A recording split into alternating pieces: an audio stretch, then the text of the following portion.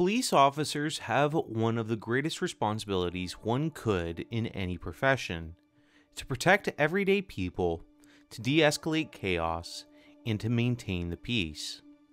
While many people are grateful for the service these officers conduct on a day to day basis, others do not and see it as their goal to undermine these public servants as much as possible. The Bible makes sure to let its position known about those that uphold justice and civility in a world where criminals are out to hurt the innocent and cause iniquity. Let's turn to one of those references in the scriptures. Romans 13 verses 1 to 6. Let every soul be subject unto the higher powers, for there is no power but of God the powers that be are ordained of God. Whosoever therefore resisteth the power, resisteth the ordinance of God. And they that resist shall receive to themselves damnation. For rulers are not a terror to good works, but to the evil. Wilt thou then not be afraid of the power? Do that which is good, and thou shalt have praise of the same for he is the minister of God to do thee for good. But if thou do that which is evil, be afraid, for he beareth not the sword in vain, for he is the minister of God, a revenger to execute wrath upon him that doeth evil. Wherefore ye must needs be subject, not only for wrath, but also for conscience sake. For for this cause pay ye tribute also, for they are God's ministers, attending continually upon this very thing.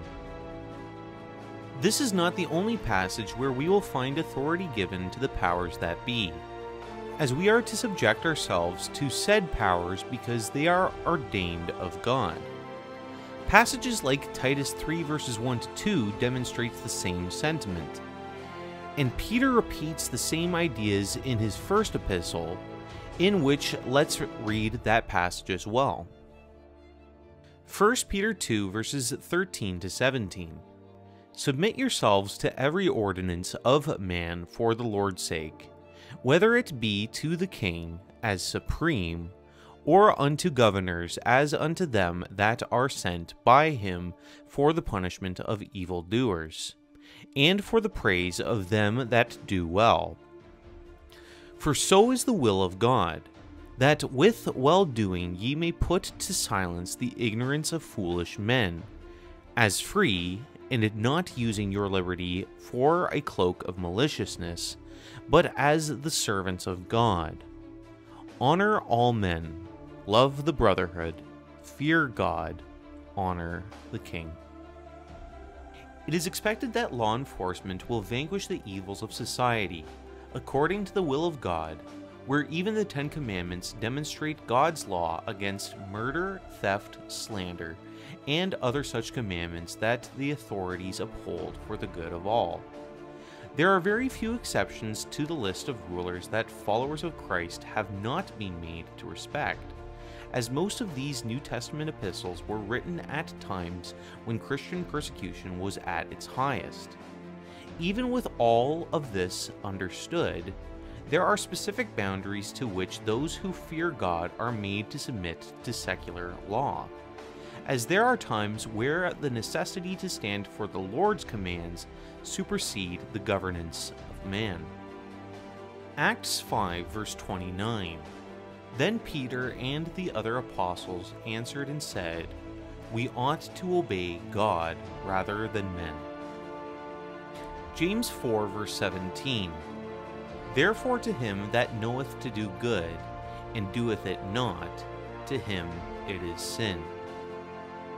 While there are times when the law can work on the side of a Christian, with the example of Paul using his right to be tried as a Roman citizen as found in Acts 22, verse 24 to 23, verse 10, there are many instances in the Bible where civil disobedience was committed in response to unjust and wicked laws, in which those who feared the Lord had politely and in a civil manner declined to obey. In Exodus 1 verses 15 to 20, the Hebrew midwives refused to obey Pharaoh's commands to kill Jewish sons. In Daniel 3 verses 1 to 18, it demonstrates how Nebuchadnezzar had built an idol for all of Babylon to bow down to, which went against the beliefs of the men named Shadrach, Meshach, and Abednego. These men civilly disobeyed the king, refusing to bow down as this would give worship to something other than God, and even answered the king, saying, O Nebuchadnezzar, we are not careful to answer thee in this matter. Where they were to suffer persecution by being thrown in a furnace, until the Lord saved them. In the same book, in chapter 6, in spite of the command of King Darius, the prophet Daniel prayed to God while he had those who wished him harm spying on him, which led to him being thrown in a lion's den where he was preserved from the beasts he was imprisoned with. These are three examples in which obedience to God's law was placed over the law of the land, in which God blessed the quote unquote criminals rather than those who were in political positions of power. God gives man his authority, but when man's authority starts to challenge God's authority, then that authority is superseded by the one who has all authority. Every officer will have to give an account before the Lord one day, along with those who were subject to the powers that be. When it comes to sin, we are all criminals, and yet it is through Jesus' blood where we can be acquitted of all charges, where no man or woman will be given exception. Psalm 89, verse 14 Justice and judgment are the habitation of thy throne. Mercy and truth shall go before thy face.